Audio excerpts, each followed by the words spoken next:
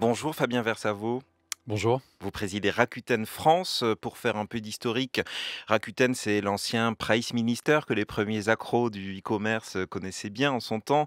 Rakuten est un groupe japonais. Sa filiale française est une plateforme de e-commerce qui travaille avec 10 000 vendeurs professionnels. Ils y vendent du neuf, de l'occasion, du reconditionné. Quelles tendances, peut-être pour être dans l'actualité de cette fin d'année, euh, tout d'abord, vous semblent être les plus euh, significatives sur ce que vous avez euh, observé en cette période de fête?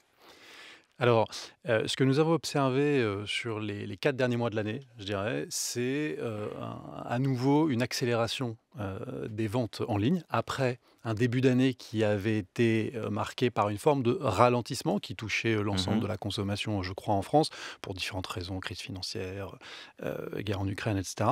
Euh, alors que euh, le, le- le- à partir du mois de septembre, après l'été, nous avons vu la demande des Françaises et des Français rebondir fortement. Les campagnes commerciales de fin d'année, Black Ouais. Friday et ensuite euh, Noël, euh, ont très bien fonctionné, je pense, à l'échelle du e-commerce et particulièrement en ce qui, en ce qui nous concerne. Donc, Mhm. première tendance. Deuxième tendance, le développement de la seconde main. Oui. Euh, on peut dire cette année, C'est lié au contexte aussi, sans doute à l'inflation. C'est un alignement de planètes euh, qui euh, a été pour la première fois, euh, qui est devenu pour la première fois cette année un comportement général de la part Mhm. des consommateurs, qui n'est plus un phénomène annexe. Nous l'avons observé depuis des années. Depuis 2010, euh, Rakuten édite un, un baromètre annuel des intentions d'achat. Euh, en termes de produits de seconde main, nous avons constaté euh, l'augmentation euh, Alors sur quel type de constante. produit, par exemple? Sur, sur toutes les familles de, sur toutes les familles de produits, c'est aussi ça qui a changé.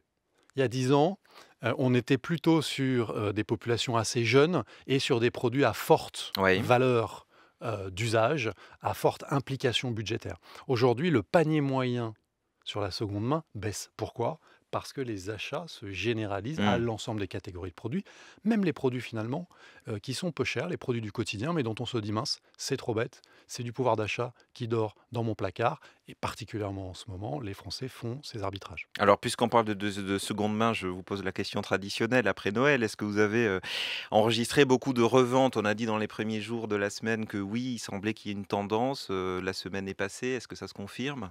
Oui, absolument. Alors, ce phénomène aussi, on le voit monter euh, euh, fortement depuis, euh, depuis quelques années. Il s'est accéléré. Aujourd'hui, on observe que la quasi-totalité des tranches de la population se disent prêts, enclins à euh, revendre leurs cadeaux et plus largement, comme je le disais, les objets qu'ils n'utilisent pas. Par nécessité aussi? Par nécessité et par conscience écologique, je crois qu'il y a eu à la fois euh, du fait euh, euh, des, campagnes médiatiques, de l'information très forte autour évidemment des enjeux écologiques liés à la consommation. Je crois qu'il y a euh, une maturité euh, très forte qui, qui s'est installée. Euh, les jeunes générations, moi j'ai des enfants euh, qui évidemment nous obligent euh, Mm. à, à plus de responsabilités, qui nous sensibilisent à ces enjeux. Donc aujourd'hui, la circularité est installée. Mm. Et les- on peut dire que, je crois, les Français ont vraiment légalisé l'achat de seconde main et acté euh, que le commerce doit intégrer une notion de circularité, donc Ouais. d'achat et de revente très forte. Mais alors, puisque vous parlez d'écologie, et c'est une question qui s'adresse euh, à vous, mais au e-commerce en général, euh, la seconde main, on comprend pourquoi elle est vertueuse d'un point de vue environnemental, mais les, les envois de colis liés au, au e-commerce, le, trafic routier, euh, l'est beaucoup moins forcément en termes environnementaux. Comment, euh, comment vous, chez Rakuten, vous intégrez cette donnée euh, environnementale dans votre activité? Alors, vous avez raison, l'enjeu pour l'e-commerce, c'est ce qu'on appelle le dernier kilomètre. C'est-à-dire que dans une logique d'e-commerce, les, les colis sont regroupés, sont massifiés au plus proche de la livraison du client et ensuite ils sont distribués euh, point à point. Et c'est là que euh, l'optimisation des émissions, notamment de, de carbone, euh, intervient pour l'e-commerce. Ce que nous avons mis en place depuis 2018, donc bien avant la pandémie, Vous avez des résultats, vous, chez Rakuten? Absolument. Euh, c'est essayer d'inciter euh, nos euh, membres, autant que faire se peut, à se rendre en magasin pour effectuer eux-mêmes euh, les retraits, le retrait de leurs produits, ce qu'on appelle le click and collect. Voilà.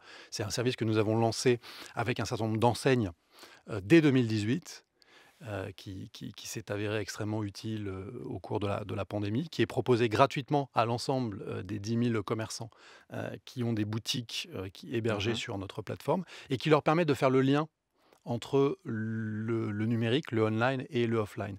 Un des enjeux également euh, des commerçants, c'est évidemment de faire revenir plus de gens dans leurs magasins, plus de, Ouais. de- de visiteurs, de consommateurs dans leurs magasins. Et donc, nous souhaitons aussi euh, répondre à cet enjeu et c'est pour ça que nous développons ces, ces technologies. Donc c'est la réconciliation du e-commerce et du commerce physique, quelque part.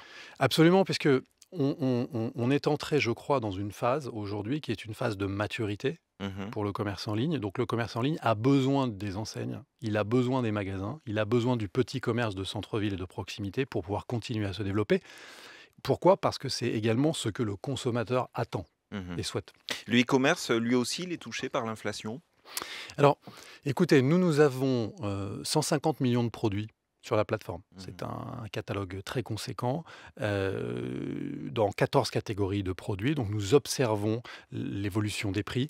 Elle a été euh, très faible, euh, inférieure à, à 2 points sur l'année en annualisé.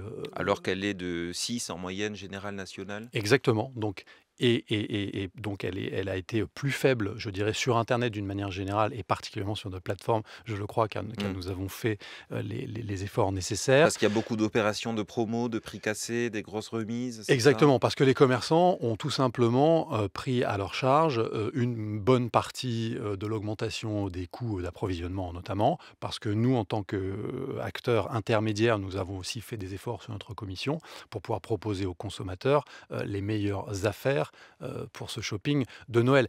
Et Internet reste une destination qui, qui est un amortisseur anti-inflation. C'est Mm. c'est un fait et, et nous l'observons au quotidien. Alors l'INSEE nous dit que l'inflation va continuer à, à augmenter encore un peu plus fortement en début d'année. On devrait atteindre les 7% au niveau national en moyenne. Est-ce que ça veut dire que du côté du e-commerce, sur Rakuten ou d'autres plateformes, il faut s'attendre euh, à des soldes monstres euh, en janvier et à des remises encore plus chocs que d'habitude? Alors, je- je- moi, je suis assez. euh, vous savez que Rakuten signifie euh, optimisme en japonais. Ah. Et donc, nous, euh, nous, nous plaçons euh, l'année 2023 euh, euh, sous le signe de l'optimisme. Je, je- je crois à euh, un rebond. Euh, je- je- nous avons observé euh, pour Black Friday des remises très significatives. Donc, je pense que les Français ont eu l'occasion de euh, gagner en pouvoir d'achat et de faire de très bonnes affaires à l'occasion euh, des campagnes de Noël avec des taux de remise moyens qui étaient supérieurs à ceux observés l'année dernière. Je pense que ça va être euh, euh, le, cas également euh, pour les soldes d'hiver qui démarrent assez tôt. Euh, et donc, je pense que le début d'année sera, sera positif. La shrinkflation dont on parlait là dans notre reportage il y a quelques minutes, euh, euh, bon, qui ne peut pas vraiment être qualifié de fraude puisque tout est écrit euh, sur les étiquettes. Encore faut-il prendre le temps de les lire. Sur Internet, comment euh, surveillez-vous ça, la lisibilité des offres? Parce que euh, y a une question de confiance sur Internet. Comment on évite les, les, les mauvaises surprises? Ça reste une, une question fondamentale pour, euh, pour les consommateurs? Oui, c'est une question fondamentale. Alors d'abord, je, vous répondrai que moi, à titre euh, euh, privé, en tant que consommateur, lorsque je vais faire mes courses dans les boutiques de quartier, euh, je, n'ai pas observé ce, phénomène. Votre reportage, il, est édifiant, évidemment, ce type de, pratique. euh, néanmoins, si elle est euh, euh, appliquée à grande échelle, est, tout, à fait, euh, est tout à fait regrettable. Euh, alors nous, nous représentons des plateformes euh, d'e-commerce qui euh, opèrent dans des catégories de produits assez différentes, qui sont Mm. du non alimentaire. Donc si vous voulez, euh, sur un, un aspirateur, un livre ou euh, un DVD, la modification du poids Oui. au kilo n'est pas une donnée véritablement possible. Mais au demeurant, vous avez raison, la transparence est une donnée essentielle. Et, et vous savez, le développement de l'Internet ces 15 dernières années a reposé sur le fait de faire venir à nous des consommateurs. Pour faire venir à nous ces acheteurs, il faut leur proposer un environnement de confiance. Je dis souvent à mes équipes que notre première mission, c'est d'être un producteur de Mm, confiance. mm. Et ça se- D'autant que vous évoluez dans un environnement extrêmement euh, concurrentiel. Il y a Amazon, il y a d'autres plateformes spécialisées. Et cette question de la confiance, c'est vraiment quelque chose euh, qui peut euh, vous distinguer. Enfin, c'est quelque chose qui, qui nous distingue. Vous savez, il y a, il y a un concept euh, en, en japonais. L'enjeu, c'est la fidélisation. Exactement. L'enjeu, c'est la fidélisation. Il y, a, il y a un terme japonais, une pratique qui s'appelle l'omotenashi. Et si vos auditeurs connaissent un peu le Japon, c'est cette définition de l'excellence dans le service client.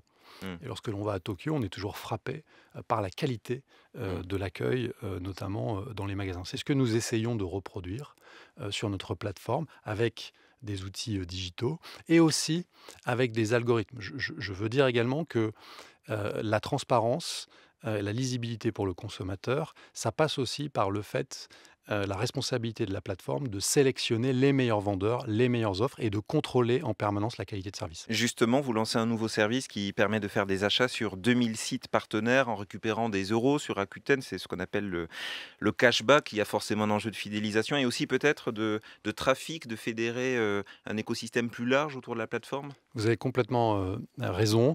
Euh, nous avons euh, 12 millions euh, de membres en France qui bénéficient de notre programme gratuit de fidélisation qui leur permet euh, D'autres l'ont déjà fait, hein, cela dit.